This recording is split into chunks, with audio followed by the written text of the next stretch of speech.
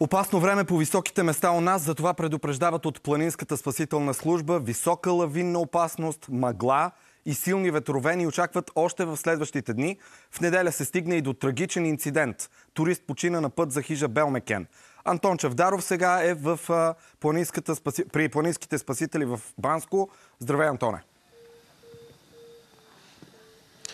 Здравейте от Шилигарника. Да, коварни са метеорологичните условия, особено за тези, които не полагат достатъчно грижи за подготовката си преди да тръгнат по високите части. При мен е Иво Валеов от Планинската спасителна служба. Здравейте! Разкажете ни повече за условията в планина. Здравейте! Ние многократно говорим за тези условия. Абсолютно нищо не се е променило през последните години. Отново имаме снеговалеж, силен вятър, под ветрените склонове са запълнени с сняг, негативните форми, така че хората трябва да са много внимателни.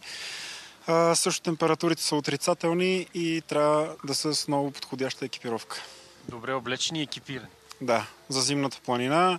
Всичко, което е необходимо за зимната планина да използват. Лавини падат ли? Лавино опасно ли е в момента? А, винаги, когато имаме склон и сняг, винаги е лавиноопасно, така че хората трябва да са внимателни като излизат в открита част на планината. А, да кажем малко за тази акция от вчера. Доста часове е трябвало да работите вие, докато стигнете до мястото, докато се приберете след това. За съжаление, на нас ни се налага да работим в такива условия.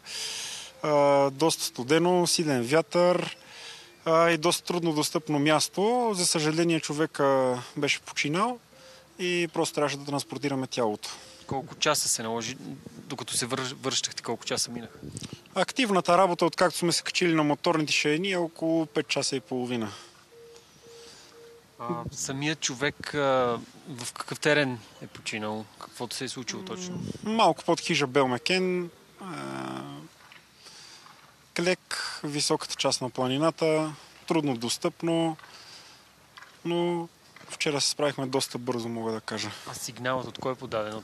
Той с, с група ли е бил? Мисля, че е бил с негов приятел и сигнал е подаден от него. А, още нещо за, за планината. М- обичайните зимни пътеки в какво състояние са? Могат ли да вървят хората по тях и за какво да внимават? А, обичайните зимни пътеки, в принцип, в високата част на планината за зимна пътека се считат ръбовете а, така че хората трябва да се движат само по а, ръбове и да не влизат в улиите, защото там е по-опасно да падне лавина. В момента имаше снеговалеж преди няколко дена, още си продължава да си духа вятър, така че трябва да си имат едно на ум хората. А лед има ли? Заледено ли е? Да, има лед и има лед и под а, новия сняг, така че също козирки също знаем, че се образуват на места. Има ли ги и тя? Абсолютно, да. Има си ги, образуват се. Има ли как да познаем къде, кога стъпваме върху козирка?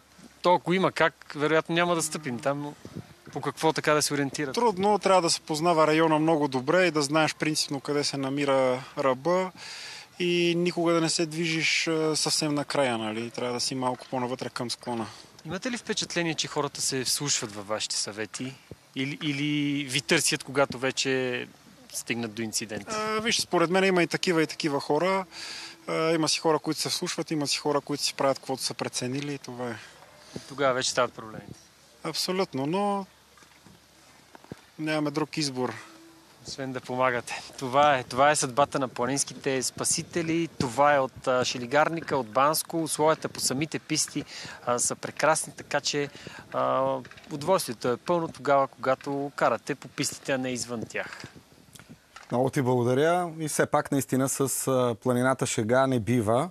Благодаря ти за това включване. Сега към Симеон Матев отиваме климатологът, който ще чухте включването преди малко предполагам от Банско. Да, да, здравейте. Здравейте. Може би няколко... Чуко и към... Да, Слушам. само да комент...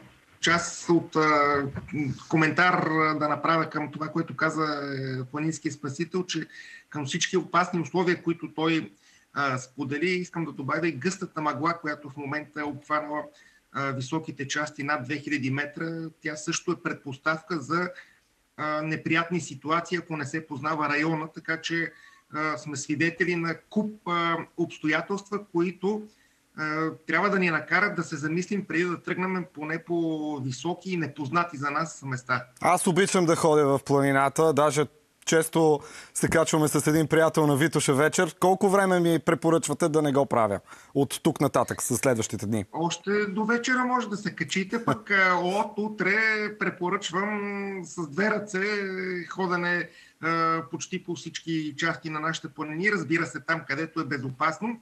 Кои са тези безопасни места обаче, както и от Планинската спасителна служба казаха, предишните дни имаше силен вятър. Този силен вятър пренесе огромни количества сняг и ги навя по склонове с източно изложение, защото вятъра беше от запад-северозапад, т.е. всички склонове, които са обърнати по някакъв начин на изток, юго-исток, юг, в момента са потенциално опасни за лавини. Инче, що се касае до самото време, да, днес изглежда, че ще е последния по-така неприятен ден по отношение на времето. Разбира се, говорим за високите части, защото да. в по-низките гористи части, вчера дори аз бях така на такава височина в гора и беше много приятно, макар и мъгливо. Но поне така изглежда от материалите, че днес е последния по-мрачен и неприветлив вид, да го наречем. И от утре вече повечето наши планини ще бъде предимно слънчево. Вятърът вторник, сряда и четвъртък няма да е силен или поне няма да създава неприятности. Температурите днес са от порядъка на минус 10 на 12 градуса на 2000 метра. От утре ще започне едно плавно повишение. В четвъртък вече на около 1500-2000 метра през деня тя ще бъде положителна. Така че отлични условия в средата на седмицата. Януари си отива, а, прощавайте, януари си отива вече. Беше ли по-различен климатично от предишните януарски месеци, предишните години? Променя ли се климата от съдейки от този януари? Климатът се променя, но съдейки от една година не може да се направят такива заключения. Така, въпреки това и този януари а, затвърди тенденцията на по-топли а, зимни месеци и такива с по-малко сняг от обичайното. В момента снежната покривка в повечето наши планини е по-малко от а, това, което трябва да бъде. А, не, че няма, но дебелината и не, на много места е несъществена, незначителна. От това, което Нямахме казвате, много... само един нюанс още от включването преди малко, което имахме. Да. Случайно, ако знаете, как да се разпознае, че има козирка от сняг? Знаете ли? Можете ли да дадете съвет? Ако, да, ако, ако не познаваме терена, трудно можем да познаем къде точно е козирката, но дори да не го познаваме, а, вървейки така по, а, в планината, при, по, гледайки околния релеф, а, виждайки, че може да има някъде чупка в а, този релеф, а, отвесни склонове или а, така по-стръмни места, задължително трябва няколко метра преди това място ние да сменим посоката, за да не попаднем в козирката.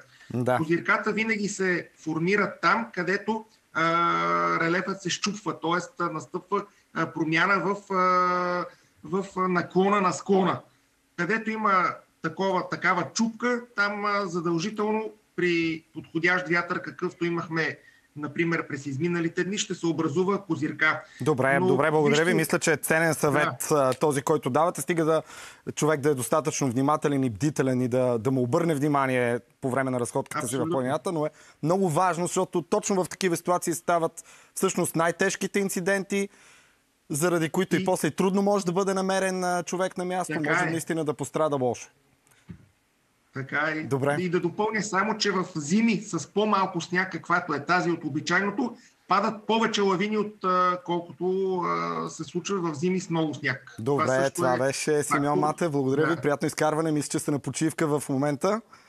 Вие останете с твоя ден, защото имаме съвсем кратко прекъсване за реклами, след което се връщаме с много интересни събеседници тук в студиото.